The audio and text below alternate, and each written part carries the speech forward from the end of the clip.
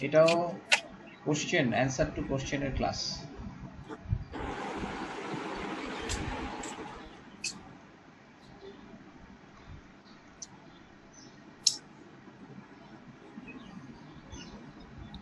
Question এটাও কোশ্চেনের class any আচ্ছা mathematics or any topic any topic question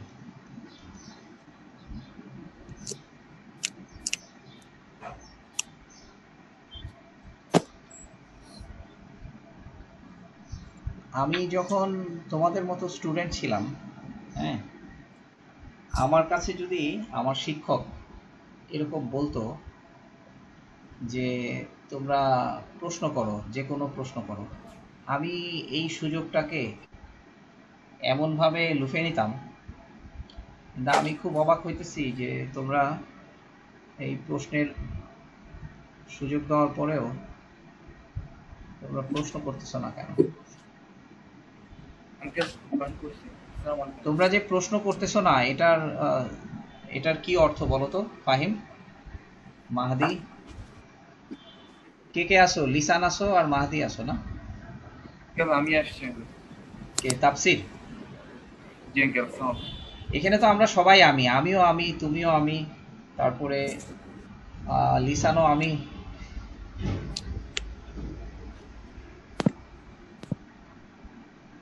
হ্যাঁ?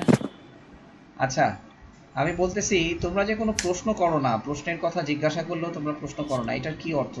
হয় তোমরা সবকিছু জানো অথবা তোমরা যে জানো না এটা তোমরা জানো না। এখন কোনটা ঠিক বলো?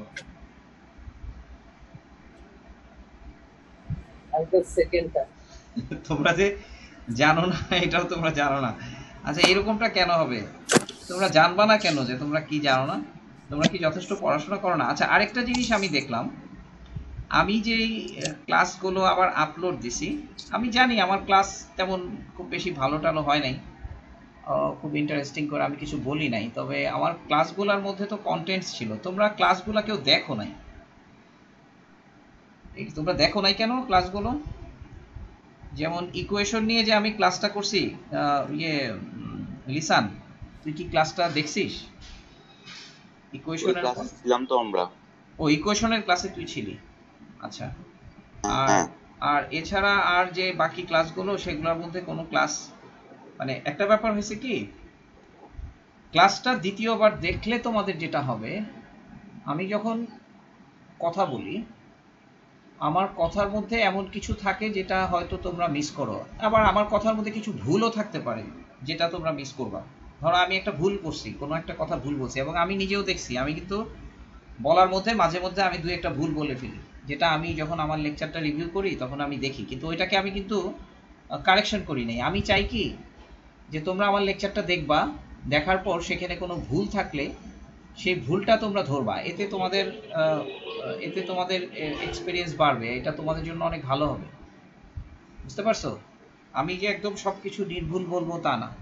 হয়তো জিনিসটা আমি জানি না তা না, কিন্তু হয়তো আমি কোনো অসতর্কতায় ভুল করে ফেলছি, কিংবা এমনও হতে পারে যে জিনিসটা আমি জানি না, আমি সত্যিই ভুল বলছি, আমি ভুলই জানি।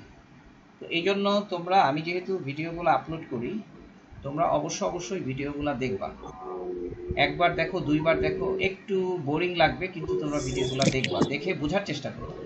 এমনকি আমি যেটা লক্ষ্য, যেটা আমি পছন্দ করব, সেটা হচ্ছে তোমরা ভুল ধরার অ্যাটিটিউড দিয়ে অ্যাটিটিউড নিয়ে এগুলা দেখবা যে আমার কথায় কোথায় ভুল হয়েছে। ভুল ধরতে পারো কিনা? বুঝছ? কেউ যদি আমার লেকচারে ভুল ধরতে পারো সেটাকে আমি খুব অ্যাপ্রিসিয়েট করব যে আমার এই কথাটা ভুল হয়েছে তোমরা যদি ধরায় দাও সেটাকে আমি অ্যাপ্রিসিয়েট করব। আমি কিছু মনে করব না। বুঝতে পারছ? এখন বলো তোমাদের question question on any topic mathematics physics chemistry philosophy religion uncle E equals to MC square ওটা আরেকবার একটু বুঝাবে আচ্ছা very good E equals to MC square এই ইকুয়েশনটা আরেকবার একটু বুঝাই দেব। E equals to MC square এটা হচ্ছে, আমরা এটাকে বলি ফিজিক্সের যত সমীকরণ আছে, তার মধ্যে E equals to MC square হচ্ছে যে এটাকে আমরা বলতে পারব মোস্ট কারেক্ট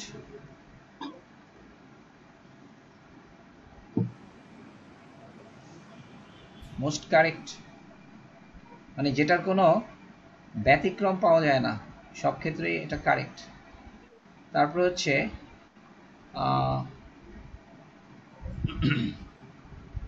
এটা তারপর হচ্ছে এটার wide range wide range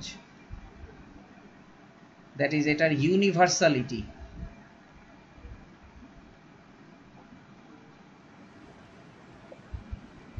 এটার ইউনিভার্সালিটি বা সার্বজনীনতা, আমরা বাংলায় বলি সার্বজনীনতা।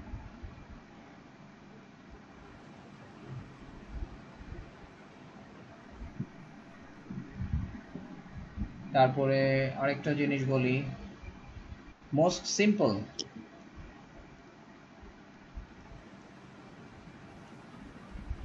মোস্ট সিম্পল এই কতগুলো, আরও বেশ কিছু বিশেষণে আমরা এই সমীকরণটাকে ব্যাখ্যা করতে পারি। এবং কেন এইগুলো, যেমন মোস্ট কারেক্ট যেমন মোস্ট কারেক্টার ব্যাখ্যা আমি তোমাদেরকে দিতে পারব না এই জন্য যে এটা যেহেতু একটা ইকুয়েশন এটার একটা ম্যাথমেটিক্যাল ডিরাইভেশন আছে। মানে এটা ম্যাথমেটিক্স দিয়ে প্রমাণ করা হয় যে ম্যাথমেটিক্সটা তোমরা এইচএসসি লেভেলে গেলে শিখবা। সেই ম্যাথমেটিক্স দিয়ে ই ইকলস টু এমসি স্কোয়ারকে প্রমাণ করা। আর ওয়াইড রেঞ্জ ইউনিভার্সালিটি মানে হচ্ছে যে এইটা সব ক্ষেত্রেই কাজে লাগে। মানে সব ক্ষেত্রেই এই ইকুয়েশনটা সত্য। বিজ্ঞানের অনেকগুলো ব্রাঞ্চ আছে কোয়ান্টাম মেকানিক্স হ্যাঁ ওয়েব মেকানিক্স বা ওয়েব ওয়েব মেকানিক্স আসলে কোয়ান্টাম মেকানিক্সের সাথেই রিলেটেড ওয়েব মেকানিক্স থেকেই কোয়ান্টাম মেকানিক্স আসছে। Quantum mechanics general theory of relativity special theory of relativity electronics হ্যাঁ? এমনকি নিউটনিয়ান মেকানিক্স সব ক্ষেত্রেই এই সমীকরণটা সঠিক। এই সমীকরণটা ভুল এটা আমরা কোনো ক্ষেত্রে বলতে পারব না। হ্যাঁ? তারপর হচ্ছে মোস্ট সিম্পল এবং এই কারণেই তোমরা অলরেডি ইকুয়েশনটা জেনে ফেলছো। যেমন ফিজিক্সের হায়ার লেভেলে অনেক সমীকরণ আছে যেগুলো সম্পর্কে তোমরা এখনও জানো না। কিন্তু এটা তোমরা জানছো কেন? কারণ দেখো সমীকরণটার চেহারা খুব simple E equals to MC square এখন আমরা আঙ্কেল দা মানে এটা কোয়ান্টাম ফিজিক্সের সব মানে টপিকে প্রায় ইউজ হয়। হ্যাঁ এটা কোয়ান্টাম ফিজিক্সে ইউজ হয়। এটা মানে এটা ইলেকট্রনিক্সে ইউজ হয়।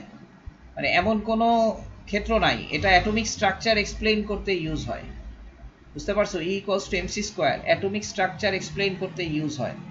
যেমন, এরকম আরও দু একটা সমীকরণ আছে। আমি আরও দু একটা সমীকরণ তোমাদেরকে একটু লিখে দেখাই যেগুলো আপাতত ব্যাখ্যা না করলেও। যেমন E equals to H nu এটাও একটা ইকুয়েশন এটাকে বলে প্লাঙ্কস ইকুয়েশন কিন্তু এটা কিন্তু আমরা সব ক্ষেত্রে ব্যবহার করতে পারি না। এটাও খুব সিম্পল ইকুয়েশন কিন্তু E equals to H nu আমরা এটা সার্বজনীনভাবে ব্যবহার করতে পারি না। এটা হচ্ছে এটা হচ্ছে যে কোয়ান্টাম মেকানিক্সের equation E equals to H nu এখানে নিউ হচ্ছে ফ্রিকোয়েন্সি আলোর কম্পাঙ্ক শক্তির কম্পাঙ্ক। এইচ হচ্ছে প্লাঙ্কের কনস্ট্যান্ট তারপরে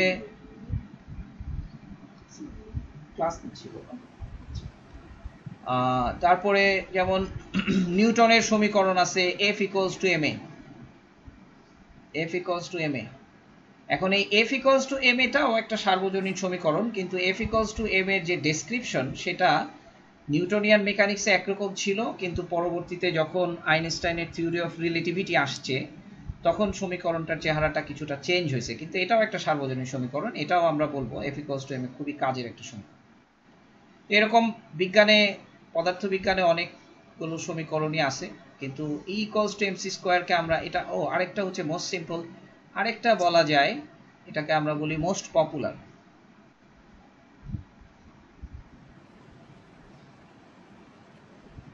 most popular popular spelling ঠিক লিখছি P O P U L E R না এ আর আমার ই sir. ঠিক আছে? এ আর তো না? আচ্ছা। হ্যাঁ। তাহলে এই হচ্ছে ইকুয়েশন সম্পর্কিত আহ, কিছু এগুলা হচ্ছে ইকুয়েশনকে আমরা গ্লোরিফাই করলাম ডেসক্রাইব করার আগে। এখন আমরা এটা ডেসক্রিপশনে আসি।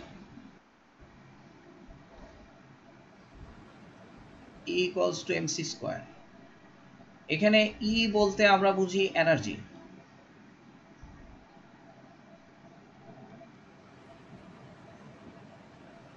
ই বলতে আমরা বুঝি এনার্জি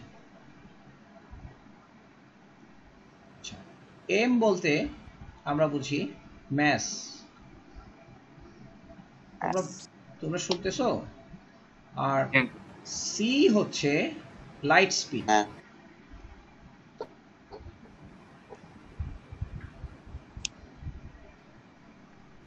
সি হচ্ছে লাইট স্পিড। এখন এই সি নিয়ে তোমাদের মানে মারাত্মক রকমের জিজ্ঞাসা থাকা উচিত যে ফট করে লাইট স্পিড কোত্থেকে আসলো? আঙ্কেল লাইট স্পিড কত? মানে এটা কোনো ভ্যালু আছে? হ্যাঁ লাইট থ্রি লাখ স্পিডের kilometre per second three lakh kilometre per second এটাকে আমরা অনেকগুলো অ্যারো দিয়ে দেখাচ্ছি যে আমাদের সমস্ত জিজ্ঞাসা দেখবা যে এটার মধ্যে আসবে যে কেন light speed? Why light speed? বুঝতে পারছ? লাইট স্পিডটা কেন?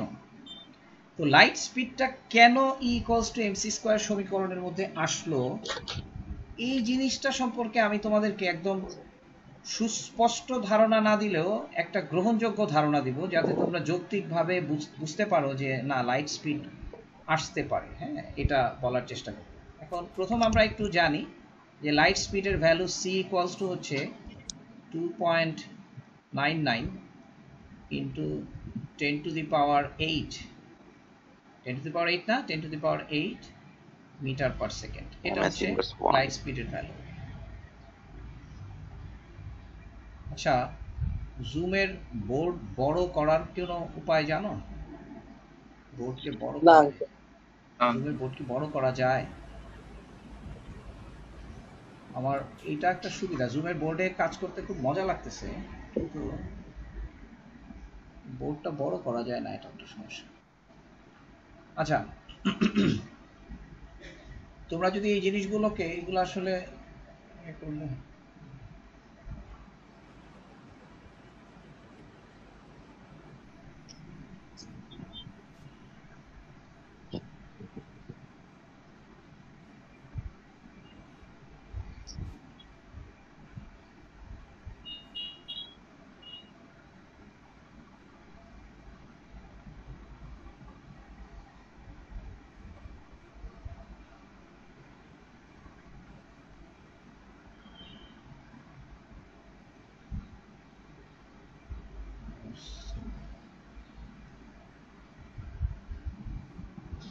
আচ্ছা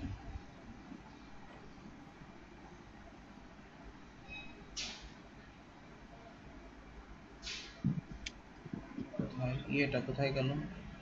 সিলেকশন ইয়েটা হয়ে গেল?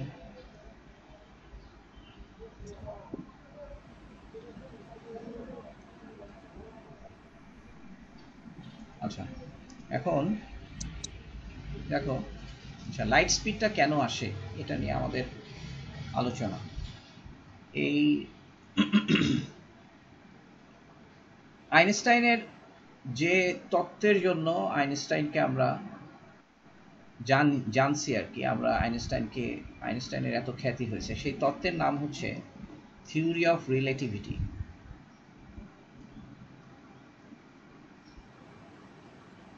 Theory of relativity. আচ্ছা রিলেটিভিটি শব্দটার কোনো অর্থ কি তোমাদের চিন্তা জগতে আসতেছে যে তোমরা কোনো কিছু ভাবতে পারতেছো যে রিলেটিভিটি বলতে কি বোঝায়? যেমন একটা কথা বলি যে কেউ কোনো একটা কথা বললে আমরা অনেক সময় বলি যে দেখো এটা একটা রিলেটিভ ব্যাপার। এই রিলেটিভিটি বলতে আসলে তোমরা কি বুঝো? কেউ আমাকে একটু রেসপন্স করো তো রিলেটিভিটি মানে কি? রিলেটিভিটি কোনো একটা এক্সাম্পল দিতে পারো? স্পিড স্পিড কি কোনো রিলেটিভিটি হ্যাঁ? স্পিড অথবা gravity Einstein's theory of relativity speed অথবা গ্র্যাভিটি রিলেটিভিটি দিয়ে তুমি বলছো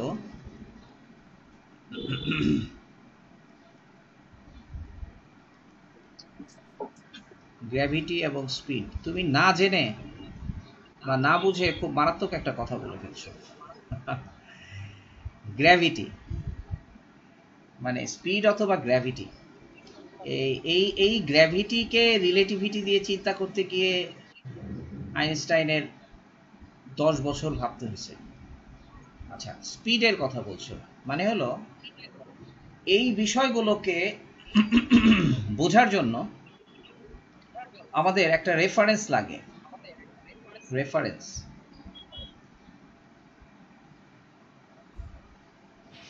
রেফারেন্স দরকার। কোনো একটা রেফারেন্স থেকে আমরা যে জিনিসগুলোকে বুঝতে পারি সেগুলাই হচ্ছে রিলেটিভ কোনো একটা রেফারেন্স কোনো একটা রেফারেন্সের পার্সপেক্টিভ থেকে আমরা যেটাকে বুঝতে পারি সেগুলোকে আমরা রিলেটিভ বলি। But things that are same in all references সেটাকে আমরা রিলেটিভ বলি না। কথা বুঝতে পারছ? বলো তো? আহ, ওজন। ওজন। হুম। ওজন পৃথিবীতে যত চাঁদে কি তত? না। তত না। না। মঙ্গল গ্রহে তত না। তাহলে ওজন জিনিসটা place to place that is planet to planet vary করবে। সে কারণে ওজনটাকে আমরা রিলেটিভ বলি। সো এই গ্র্যাভিটিটা রিলেটিভ গ্র্যাভিটি সব জায়গায় একরকম না। গ্র্যাভিটি এক এক জায়গায় এক এক রকম। মানে এটুকুই এনাফ না, এরপরে আরও কথা আছে। তাহলে গ্র্যাভিটি এবং গ্র্যাভিটির কারণে যেটা হয় ওয়েট গ্র্যাভিটির কারণে যে ওয়েটটা হয়, সেই ওয়েটটা রিলেটিভ স্পিডও একটা রিলেটিভ জিনিস। কিন্তু যদি আমরা বলি ম্যাস ম্যাস কি? পৃথিবীতে একটা বস্তুর ভর যত চাঁদে কি তত? জি আঙ্কেল। চাঁদেও তত মঙ্গল গ্রহেও তত। তাহলে ম্যাসকে কি আমরা বলব? ম্যাসকে আমরা কি বলব? নট রিলেটিভ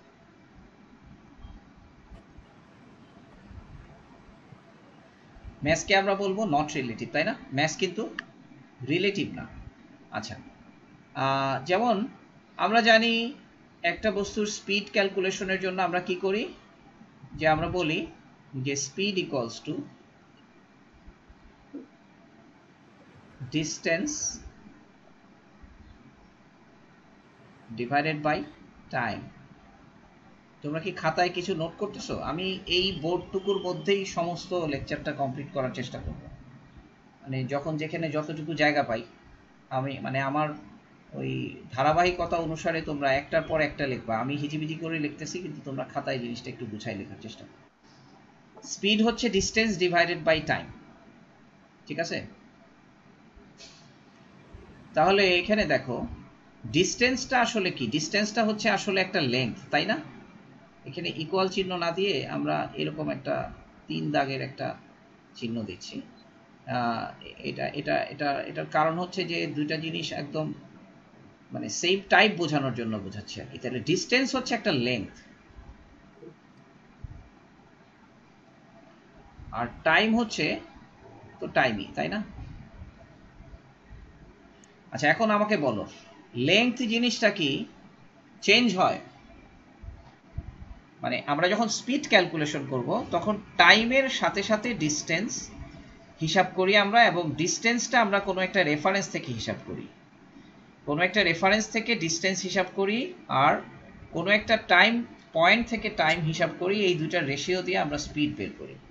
তাহলে ডিস্টেন্স মেজারমেন্টটা একটা রিলেটিভিস্টিক ব্যাপার, একটা রিলেটিভ ব্যাপার টাইম মেজারমেন্টটাও একটা রিলেটিভ ব্যাপার। কিন্তু আমরা যদি চিন্তা করি এরকম যে মনে করো আমার হাতে এক মিটার দৈর্ঘ্যের একটা স্কেল আছে, ঠিক আছে? এই স্কেলের মধ্যে একটা পিঁপড়া স্কেলের এক মাথা থেকে আরেক মাথায় গেল। শুনতেছো? স্কেলের এক মাথা থেকে আরেক মাথায় গেল। তো এই স্কেলটা নিয়ে যদি আমি হাঁটাচলা করি আর আমি যদি এই স্কেলটা নিয়ে বসে থাকি তাহলে পিঁপড়াটার ওই স্কেল বরাবর অতিক্রম করার যে পরিমাণটা সেই পরিমাণটাকে আমি যখন হাঁটতে থাকি আর আমি যখন বসে থাকি তখন কি পরিমাণটার মধ্যে কোনো পার্থক্য হবে? না। কোনো পার্থক্য হবে না। মানে একই পরিমাণ থাকবে। তাহলে আমরা এটাকে বলি যে লেংথ নট রিলেটিভের আরেকটা জিনিস হচ্ছে লেংথ লেংথ ঠিক আছে? নট রিলেটিভ হচ্ছে ম্যাস নট রিলেটিভ হচ্ছে লেংথ তারপরে যদি, কিন্তু স্পিড কিন্তু রিলেটিভ লেংথ নট রিলেটিভ কিন্তু স্পিড রিলেটিভ কিন্তু আমরা যদি বলি ডিস্টেন্সের কথা, যেমন মনে করো, তুমি ডিস্টেন্স যদি বলি, সেটা কিন্তু আবার রিলেটিভ হয়ে যায়। কীভাবে? মনে করো তুমি একটা ট্রেনে বসে আসো ট্রেনে, একটা ট্রেন, একটা প্ল্যাটফর্মের মধ্যে একটা ট্রেন আছে। সেই ট্রেনের মধ্যে যদি তুমি হাঁটতে থাকো আর ট্রেনটাও যদি চলতে থাকে, তাহলে তোমার যে ডিস্টেন্সটা প্ল্যাটফর্মের সাপেক্ষে, ট্রেনটা যদি চলতে থাকে, তাহলে প্ল্যাটফর্মের রেফারেন্সে তুমি যতটুকু আগাবা, ট্রেনটা যদি রেস্টে থাকে, তাহলে কি ততটুকু আগাবা না তার চেয়ে কম বা তার চেয়ে বেশি? আমি আবার বলতেছি একই। আমি বলতেছি একটা ট্রেন প্ল্যাটফর্মের রেফারেন্সে মুভ করতেছে। এই মুভমেন্টের সময় ট্রেনের ভিতরে একজন ব্যক্তি যদি হাঁটে তাহলে তার মুভমেন্টটা ট্রেনের বাইরে থেকে আমার কাছে যা মনে হবে ট্রেনটা যদি রেস্টে থাকে তাহলে কি তা মনে হবে? না তাহলে এই মানে যে ডিস্টেন্স তাহলে বেশি মনে বেশি মনে হবে বা কমও মনে হতে পারে কারণ যদি ট্রেনের মোশনটা অপোজিট ডিরেকশনে থাকে। ঠিক আছে? তাহলে জিনিসটা দেখো কিন্তু আমরা যদি বলি যে তার লেংথটা কত মানে সে কতটুকু লেংথ হাঁটলো ট্রেনের মধ্যে, সেটা কি হবে? সেটা আমাদের কাছে, আমাদের ক্যালকুলেশনে সেম থাকবে। কিন্তু আমি যদি আমার রেফারেন্সে সে কতটুকু আগালো সেটা হিসাব করি, তাহলে ট্রেনের মুভমেন্ট থাকা এবং না থাকা অবস্থায় সেটা কিন্তু ডিফারেন্স হবে ডিফারেন্ট হবে। তাহলে আমরা বুঝতে পারলাম যে ডিস্টেন্সের ব্যাপারটা সেটা রিলেটিভ কিন্তু লেংথের ব্যাপারটা নট রিলেটিভ ঠিক আছে কথাটা? আচ্ছা। এরপর আরেকটা কথা বলি। যেমন আমি তোমাদেরকে বললাম যে আমি পাঁচ মিনিট পরে আসতেছি। ঠিক আছে? তো তোমরা ঘড়ি দেখলা। তো পাঁচ মিনিট পরে যখন আমি আসলাম আমি ঠিক পাঁচ মিনিট পরেই আসলাম। মানে হচ্ছে যে আমি এবং তোমরা তোমরা কজন আসো তোমরা তিনজন আসো তাপসির আসছো? রাকিন আসে নাই না আজকে? তাপসির মাহদি আর লিসান আসে। আচ্ছা তাহলে মনে করো আমরা তিনজন চারজন আমরা চারজনই পাঁচ মিনিট টাইম কাউন্ট করলাম। ঠিক আছে? এখন চারজনের পাঁচ মিনিট টাইম কাউন্ট একেবারে সেম হয়ে গেল যদিও আমরা পৃথিবীর চার জায়গায় তিনজন চারজন। বিষয়টা লক্ষ্য করছ? যে টাইম কিন্তু সব জায়গাতে একই রকম। তোমার কাছে টাইম যতখানি আমার কাছেও টাইম ততখানি হ্যাঁ? তোমাদের লিসান তাফসির বা মাহাদি তোমাদের প্রত্যেকের কাছেই টাইমটা কিন্তু একই রকম মনে হবে। তাহলে আমরা নট রিলেটিভের মধ্যে আমরা আরেকটা ইনক্লুড করলাম টাইম বুঝতে পারছ কথাটা? তাহলে বুঝি টাইম নট রিলেটিভ কেন? নট রিলেটিভ মানে হচ্ছে যে আমি যদি বলি আমি পাঁচ মিনিট পরে আসতেছি তো আমি যখন পাঁচ মিনিট পরে আসলাম তুমি দেখলা যে হ্যাঁ আমি ঠিক পাঁচ মিনিট পরেই আসছি। তো টাইমটা তো আমি কাউন্ট করছি পাঁচ মিনিট কিন্তু সেটা তোমার কাছেও পাঁচ মিনিট হলো কেন? যদি আমি তোমাকে প্রশ্ন করি তুমি উত্তর দিতে পারবা? যে কেন টাইমটা। তোমার কাছে আমার কাছে একই রকম? হ্যাঁ হ্যাঁ হ্যাঁ টাইমটা সবার কাছে সেম মানে ব্যাপারটা কিন্তু মানে ব্যাপারটা এরকম না যে এটা নিয়ে কোনো কোশ্চেন করা যায় না। এটা নিয়ে কোশ্চেন করা যায়। বুঝতে পারছ? কিন্তু আমরা কোশ্চেন করি না। কারণ আমাদের এক্সপিরিয়েন্সে আমরা সব সময় দেখি যে time passing at a same speed for everyone প্রত্যেকের জন্য টাইম একই স্পিডে পাস করতেছে। সো টাইমটাও হচ্ছে একটা নট রিলেটিভ এন্টিটি টাইমেরও কোনো রিলেটিভিটি নাই। বুঝতে পারছ কথাটা? আচ্ছা তাহলে. আমরা কি তাহলে থিওরি অফ রিলেটিভিটি বুঝে ফেললাম না? যে কোন. জিনিসগুলা রিলেটিভ আর কোন জিনিসগুলা রিলেটিভ না এটা তো আমরা বুঝে ফেললাম। এখন এখানে. কি আমাদের আইনস্টাইনকে কোথাও কাজে লাগছে? আইনস্টাইন ছাড়াই তো আমরা রিলেটিভিটি বুঝে ফেললাম ঠিক না? তাহলে আইনস্টাইনের থিওরি অফ রিলেটিভিটির গুরুত্ব কোথায় গেল? আইনস্টাইনের থিওরি অফ রিলেটিভিটি গুরুত্বহীন হয়ে গেল না? আইনস্টাইনের থিওরি অফ রিলেটিভিটির গুরুত্ব কি হয়ে গেল? গুরুত্ব চলে গেল? আচ্ছা এখন আমি তোমাদের বলতেছি। এই যে তিনটা জিনিসকে আমরা বললাম নট রিলেটিভ এই তিনটা জিনিসই রিলেটিভ মানে তিনটা জিনিস তিনটা জিনিসের সাথে রিলেটেড তিনটা জিনিস তিনটা জিনিসের সাথে রিলেটেড ব্যাপারটা সেরকম না। এই তিনটা জিনিসের কোনোটাই আসলে অ্যাবসলিউট না কথাটা হচ্ছে এরকম। যেমন আমরা জানি যে বস্তুর ভর একটা একটা গাড়ি যখন চলতে থাকে তখন তার ভর যত থাকে একটা গাড়ি যখন থেমে থাকে তখনও কি তার ভর ততই থাকে না? নাকি চেঞ্জ হয়? ততই থাকে। আচ্ছা যেটা বললাম তোমার কাছে যেই সময়টা পাঁচ মিনিট আমার কাছেও সেই সময়টা পাঁচ মিনিট। ঠিক আছে? আচ্ছা তোমার কাছে একটা জিনিসের দৈর্ঘ্য যদি তিন মিটার হয় সেই জিনিসটা নিয়ে যদি তুমি হাঁটতে থাকো তাহলে কি সেটার দৈর্ঘ্যের কোনো পরিবর্তন হবে? না। পরিবর্তন হবে না। এই প্রত্যেকটা কথাই আসলে ভুল যেটা আইনস্টাইন প্রমাণ করছেন বুঝতে পারছ? অর্থাৎ যে জিনিসগুলোকে যে জিনিসগুলোকে আমরা অ্যাবসলিউট জানতাম যে জিনিসগুলোকে পরিবর্তন হয় না বলে আমরা জানতাম ম্যাস লেংথ অ্যান্ড টাইম আইনস্টাইনের তত্ত্ব দিয়ে আমরা নতুন করে যেটা জানছি যে যে ম্যাস লেংথ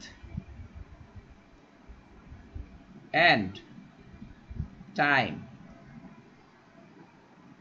আর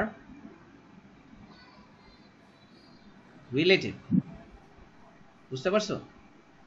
এই কারণেই আলাদা করে আইনস্টাইনের তত্ত্বকে থিওরি অফ রিলেটিভিটি বলা হয়। কারণ আইনস্টাইন রিলেটিভিটিকে সম্পূর্ণ নতুনভাবে ব্যাখ্যা করে।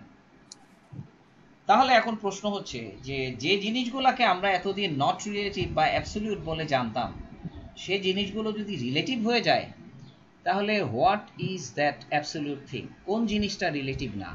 এটা একটা প্রশ্ন আসে না? আমরা জানতাম যে বেগ রিলেটিভ দূরত্ব মানে অতি মানে স্মরণ রিলেটিভ হ্যাঁ? তারপরে ওই ওজন রিলেটিভ বল রিলেটিভ ফোর্স ফোর্স রিলেটিভ কিন্তু ম্যাস লেংথ এবং টাইম এগুলো রিলেটিভ না, এগুলো সব জায়গায় একই রকম, সব ক্ষেত্রে একই রকম। কিন্তু এই জিনিসগুলোই যদি এখন রিলেটিভ হয়ে যায়, তাহলে কি সব কিছুই যদি রিলেটিভ হয়ে যায়, তাহলে তো আমাদের মেজারমেন্ট নিয়ে প্রবলেম হয়ে যাবে, ঠিক কি না আমরা তাহলে পরিমাপ করব, সেটার জন্য তো আমাদের একটা রেফারেন্স লাগবে। Everything is relative then what is the thing that is not relative what is the thing that is same for each and every references প্রত্যেক রেফারেন্সে সেম জিনিসটা কি? সেই সেম জিনিসটাই হচ্ছে আমাদের, এই হচ্ছে আমাদের এই লাইট স্পিড এই লাইট স্পিডটাই হচ্ছে আমাদের সেই not relative entity light speed হচ্ছে নট রিলেটিভ ঠিক আছে? লাইট স্পিড নট রিলেটিভ আচ্ছা এই জিনিসটাও একটু এইভাবে বললে শেষ করে ফেলা যাবে না।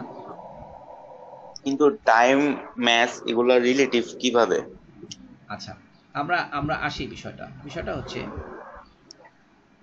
মাইকেলসন মরলি নামে সায়েন্টিস্ট মাইকেলসন এবং মরলি দুজন সায়েন্টিস্ট আমাদের টাইম শেষ হয়ে যাবে একটু পরে। এরপরে আবার রিশিডিউল করব হ্যাঁ? মাইকেলসন মরলি নামে দুজন সায়েন্টিস্ট তারা একটা পরীক্ষা কাঠামো নির্মাণ করছিলেন আলোর বেগ পরিমাপ করার জন্য। ঠিক আছে? এবং বিজ্ঞানের ইতিহাসে আলোর বেগ পরিমাপ করার জন্য সেটা ছিল সবচেয়ে বিশুদ্ধতম একটা এক্সপেরিমেন্টাল সেট এবং সেই এক্সপেরিমেন্টাল সেট জন্য ওনাদেরকে নোবেল পুরস্কার দেওয়া হয়েছিল। বুঝতে পারছ? তো বিজ্ঞানী মাইকেলসন মরলির সেই এক্সপেরিমেন্টের মাধ্যমে বিভিন্ন অবস্থায় আলোর গতিবেগ পরিমাপ করে কখনোই আলোর গতিবেগের মধ্যে কোনো পার্থক্য পাওয়া যায়নি। এখন তুমি বলতে পারো, পার্থক্য পাওয়া যায় নাই ব্যাপারটা কি? মনে করো তুমি একটা দ্রুতগামী একটা গাড়ির মধ্যে। কারণ তখন তো অত হাই স্পিড গাড়িও ছিল না। তো যেমনই হোক, একটা দ্রুতগামী গাড়ির মধ্যে থেকে যদি তুমি আলোর বেগ পরিমাপ করো, তাহলে সেই আলোর বেগ গাড়ির স্পিডের সাথে ভ্যারি করবে। এটা হচ্ছে আমাদের কথা। যেমন মনে করো সামনে কোনো একটা লাইট পোস্টের থেকে আমার চোখে লাইট আসতেছে। এখন আমি যদি লাইট পোস্টের দিকে মুভ করি আমি যদি লাইট পোস্টের দিকে মুভ করি সেক্ষেত্রে আমার স্পিড কি হবে? লাইট লাইটের স্পিড আমার কাছে কি হবে? আমি যদি লাইট লাইট পোস্টের দিকে আগাতে থাকি তাহলে লাইটের স্পিডটা আমার কাছে কি মনে হবে? কম মনে হবে না বেশি মনে হবে? কম মনে হবে। তোমার দিকে কেউ একজন দৌড়ায় আসতেছে? তুমিও তার দিকে আগাচ্ছ। ধাক্কাটা কি আসতে লাগবে না জোরে লাগবে? দূরে লাগবে। জোরে লাগবে। জোরে লাগবে। তাহলে তুমি লাইটের দিকে আগাচ্ছ তাহলে লাইটের স্পিড বাড়বে না কমবে? পারবে পারবে বাড়বে। ঠিক আছে ব্যাপারটা? কিন্তু লাইটের স্পিড হচ্ছে বাট লাইটের স্পিড তো সেমই থাকে। হ্যাঁ বলছি কথাটা বলছি কথাটা। লাইটের স্পিড সেম থাকে কেন? এটাই তো প্রশ্ন। যে আমি যদি আচ্ছা লাইটের স্পিড সেম থাকে কেন? তো তোমার কি মনে হয় যে লাইটের স্পিড অনেক বেশি বলে তোমার স্পিডের সাথে লাইটের স্পিডের যে পরিবর্তনটা হয়, সেই পরিবর্তনটাকে আমরা নগণ্য মনে করি? ব্যাপারটা কি এরকম মনে হয় তোমাদের? আমার কাছে লাইট আসতেছে আর আমি লাইটের দিকে যাচ্ছি। সেক্ষেত্রে লাইট আমার কাছে একটু তাড়াতাড়ি চলে আসবে। দ্যাট ইজ আমার কাছে লাইটের স্পিডটা বেশি মনে হবে। ঠিক না? জি আঙ্কেল আর লাইট আমার দিকে আসতেছে, আমি উল্টো দিকে যাচ্ছি। সেক্ষেত্রে আমার কাছে লাইটের স্পিডটা কম মনে হবে। কিন্তু লাইটের স্পিডের তুলনায় আমাদের রিয়েল লাইফ স্পিডগুলো যেমন রকেটের স্পিড হচ্ছে only seven kilometre per second এরকম, কাছাকাছি। ধরো আমরা এটাকে রাফলি রাফলি টেন কিলোমিটার পার সেকেন্ড বলি। টেন কিলোমিটার পার সেকেন্ড রকেটের স্পিড টেন কিলোমিটার পার সেকেন্ডের কাছে এই স্পিডটা কি নেগলিজেবল না? তাহলে আমরা খুব হাই স্পিডের ক্ষেত্রে লাইট স্পিডের পরিবর্তনও যদি চেক করি, তাহলে এক্সপেরিমেন্ট দিয়ে সেটা ধরা পড়া খুব কঠিন। ঠিক না? কিন্তু ব্যাপারটা হচ্ছে কি, মাইকেলসন মরলি যে এক্সপেরিমেন্টাল সেটআপ তৈরি করছিলেন, সেই এক্সপেরিমেন্টাল সেটআপটা এতটাই সূক্ষ্ম ছিল যে লাইট স্পিডের খুব সামান্য পরিবর্তন হলেও সেটা ধরা পড়বে। তো মাইকেলসন মরলি এক্সপেরিমেন্ট থেকে যেটা ধরা পড়ে সেটা হচ্ছে যে লাইট স্পিড সবসময় same light speed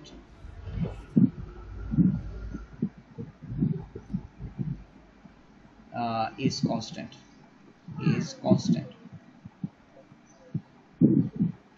আর যেহেতু লাইট স্পিড কনস্ট্যান্ট আইনস্টাইন যেটা করেন সেটা হচ্ছে ফিজিক্সের রেফারেন্স থেকে এক রেফারেন্স থেকে আরেক রেফারেন্সে গতিকে ব্যাখ্যা করার জন্য এই বিষয়টাকে ব্যবহার করেন। যে লাইট স্পিড কনস্ট্যান্ট এই বিষয়টাকে ব্যবহার করেন এবং আইনস্টাইনই প্রথম ব্যক্তি যিনি ফিলোসফিক্যালি এই কথাটাকে একসেপ্ট করে নেওয়ার সাহসিকতা দেখান। তারা এই বিষয়টাকে একসেপ্ট করতে পারতেছিল না। কিন্তু আইনস্টাইন বলেন যে আমরা যে বিষয়গুলোকে এতদিন একসেপ্ট করে আসছি length not relative sorry length absolute mass absolute time absolute বরং এই কথাগুলোকে সাসপেনশনে রেখে আমরা এই কথাটাকেই ব্যবহার করব যে ভ্যাকুয়ামে অর্থাৎ শূন্য স্থানে আলোর বেগের কখনোই কোনো পরিবর্তন হয় না। তুমি যত স্পিডেই যাও না কেন, তোমার কাছে আলোর বেগ যা হবে, আর যে থেমে আছে তার কাছে আলোর বেগ তাই হবে। আইনস্টাইন ফিলোসফিক্যালি এই জিনিসটাকে একসেপ্ট করে নেন তোমরা একটু চিন্তা করবা যে এই জিনিসটা তোমরা একসেপ্ট করতে পারো কিনা। এটাই হচ্ছে তোমাদের চিন্তা, আমাদের চিন্তা এবং আইনস্টাইনের চিন্তার মধ্যে পার্থক্য। আইনস্টাইন এটাকে একসেপ্ট করে নেন এবং এইটাকে ফিজিক্সের এক রেফারেন্সের সাথে আরেক রেফারেন্সের রিলেশন করতে গিয়ে ব্যবহার করেন।